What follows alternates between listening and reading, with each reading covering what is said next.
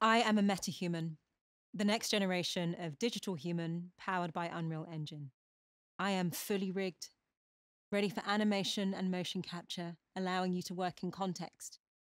With everything running live in Unreal Engine, my motion works seamlessly. Hello guys, Maris Freimanis here. Today in this quick tutorial, I want to show you how you can use the Blender new hair curve system to create amazing furs or even haircuts for your characters. In the same way as a particle system, you can use your groom assets in your cinematics and in your game projects. So this workflow comparing to particle system not only works better, but you have more control how at the end your groom asset gonna look. And the best thing is you will transfer your mesh's UV data to your groom assets so you can use your character textures to color your groom asset. It comes really handy because I use Substance Painter to paint my cat and I can use the same texture to color my grooming assets so everything just really nicely goes together. You're not limited just to that. You can also create a color masks and color your groom inside Unreal Engine. So let's jump into it. So first we need to download the plugin for the Blender. It's called Unreal Engine Groom Exporter. Uh, it's free, but if you can, donate something so the developer keeps updating this plugin for the future use. So after I have purchased the add-on, currently at this video, I'm going to be using Groom Exporter Library included version 15 for Blender 4.1. So the new system is, I believe, only in the Blender 4.0 and above. So I'm going to use 4.1 in this. Uh, so if you want to follow along, use 4.1. So once we are in the Blender, first thing we need to go to Edit, Preferences. We're going to go to Add-ons, Install, find your grooming plugin and click Install Add-on. After it installs, make sure to enable it. Now just import any mesh that you want to apply the grooming. So in my case, I will finish my cat character and last thing that for me is a tail. I'm not going to go too much into detail about creating your fur is itself because uh, this is more like a workflow oriented. But I'm using the same basically settings and the same nodes across uh, my whole cat character. Click your tail. We're going to go to add curve and I'm going to do empty hair. You can use the fur, but I like empty hair because I like to stock my own things and paint myself. So I'm going to do the empty hair.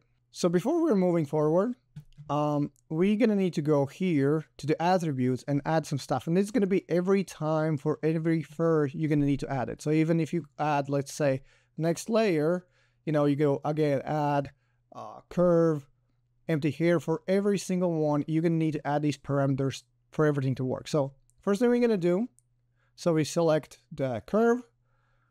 We're going to click this plus icon. We're going to add radius. We're going to add color and then we're going to add a custom and we're going to call this roughness. We can see it's using the UV map from the tail and all that stuff. Then uh, what we're going to do this, we're going to click this groom thing. That's from the new add-on. And here in the first section, this is put this information here. So for the groom root UV, you need to put surface UV coordinate. Make sure that the the spelling and everything is lowercase and stuff like that. Then for groom color, you need to put color. For groom roughness, put roughness. And for groom width, put radius. And this is going to be important when we can export things. But I usually like to set this from the beginning so I don't forget it. And now we can go to start applying our groom. So first thing I'm going to set, again, the curve. I'm going to go to the sculpt mode. I'm gonna play with the density brush. And here you can set um, density you want. I can set a 0.1 because this is density I'm using across my character. Then you can set here the length, shape. You can set the length, how many points you want, and all that stuff. So I'm just gonna click this because I want it to kind of like use the previous data. So I'm gonna kind of paint it here a bit. And this is what I suggest you to do. So paint a bit here and then I get a combat, and I would suggest you kind of like don't go too close. Close. Make it so it's fluffy, so you can brush it down, but don't get too close to um, the mesh itself because if there's no distance, it's gonna become flat, and it's you're not gonna see it in the camera. It's basically gonna look the same way as you would just texture paint it. So keep some distance between the mesh and the fur itself And you can always also go back here and there's a, something called puff. You can puff it up if you need to. So one thing you actually need to enable is this one. So here's the small button. We need to enable this. And this will prevent your groom to go inside the mesh. And I actually also to enable symmetry. And now I can go back to the density. And as I set this interpolate, it's to keep going the same way as this. So if I'm starting to paint, we can see it keeps the same way as I painted, um, the same direction and all that.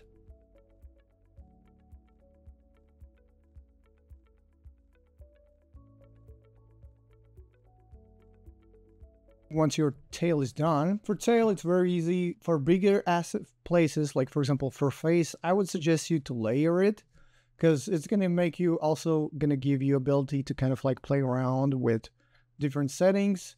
As we can see, for example, for my face, I have one part, second part, third part, then ears is separate, and then also whiskers are separate. What we're going to do now is if we go here in this corner right here, you need to see like a crosshair and pu pull it here. So you have two windows. And then we're to go, we're going to click here. We're going to go to Asset Browser. And that's going to open up this hair panel. And this is where we're going to start to get the ge geometry nodes uh, to kind of adjust this one a bit. So I'm going to go here. So the first thing I usually add is set curve profile. So we can just drag it up on this one. And I like to set radius to 0.001. Here, it actually doesn't matter um, what you set because I like to actually control my radiuses in Unreal Engine so I can see in real time actually how it affects. I usually put this one just to make sure that in Blender, our all hair has the same width and then I can later on tweak. I can show you how you can tweak it in Unreal Engine. So after that, we can add a hair curve noise. So we can start increase the distance and so you can see it start to get fluffier. So I'm gonna, I for this one, I usually set for like 15. See now our tail has got a fluffier. Then we can increase the shape. Let's see if we can get some kind of different shapes. So I'm just gonna leave this at one. And then we can increase the scale of the effect. I can increase the scale to something like five. So this looks good. So if we compare, you can see we have got some noise so our tail doesn't look uniform and looks a bit more natural. And actually the other node that I usually add is this frizz hair curve. We can add this and we can increase the distance and we can see we are getting different fluffiness. And I'm to put like something like 0.2 look good. And just to make it the shape, I'm maybe to bring this down a bit. Again, like if you increase the shape to one, it gets very, like the effect is very strong. Uh, oh, I'm gonna put it to like 0 0.02 maybe. I don't want too much. So this gave a bit of the noise and then I'm stacking with this one. And now it looks almost like a cat fur.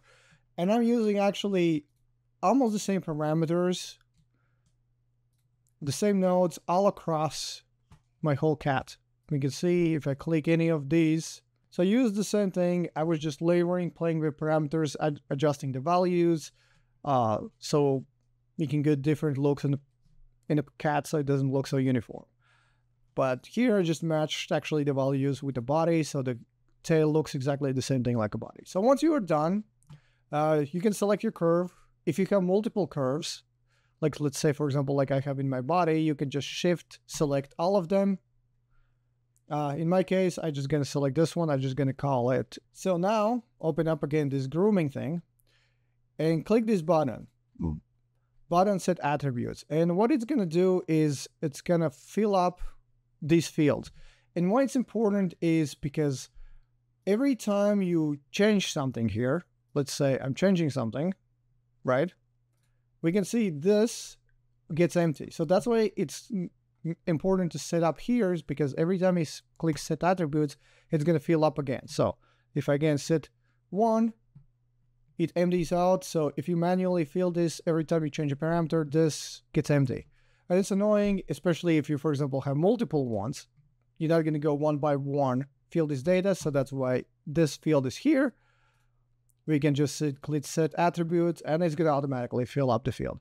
So then we can click button export. So give it a name. I'm going to call my tail fair.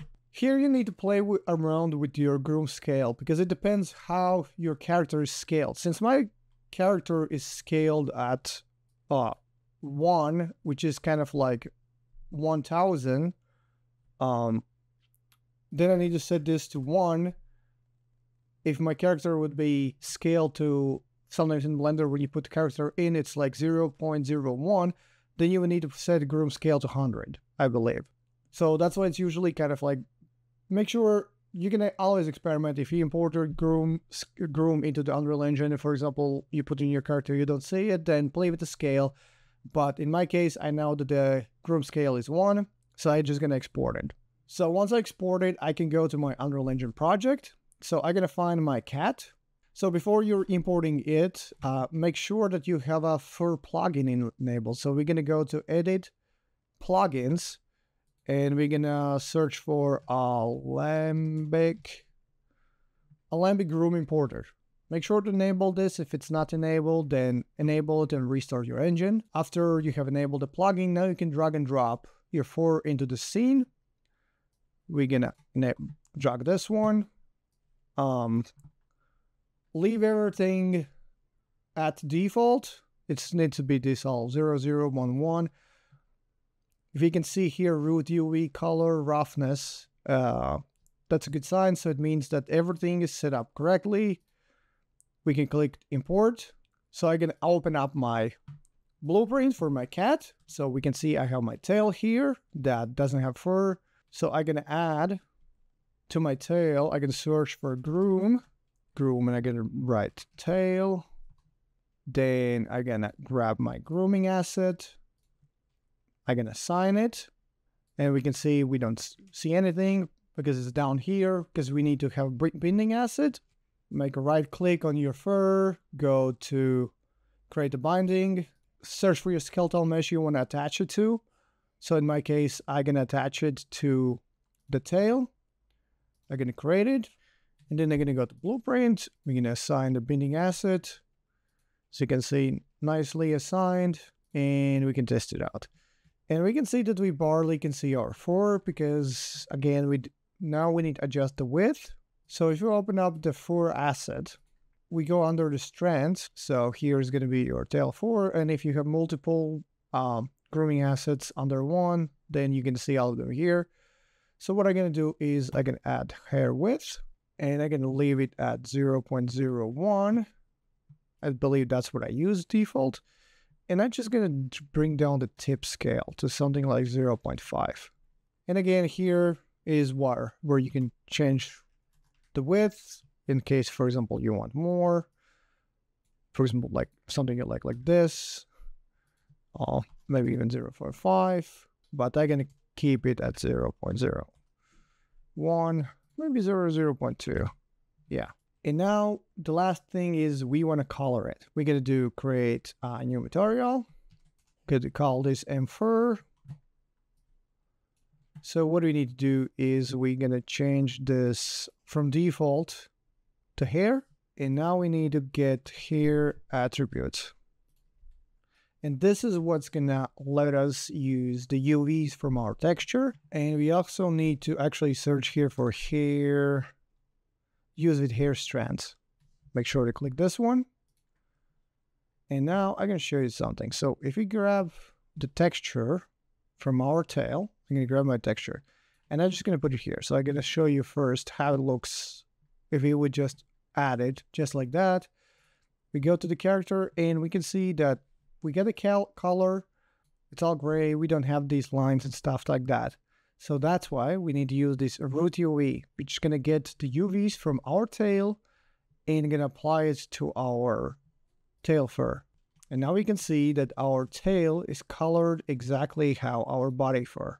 Now we have a character that has a tail with a fur colored exactly how you want. And the cool thing is you can even expand this by adding, let's say, a color mask that colors, let's say, specific areas. Like in my case, it's like the stripe.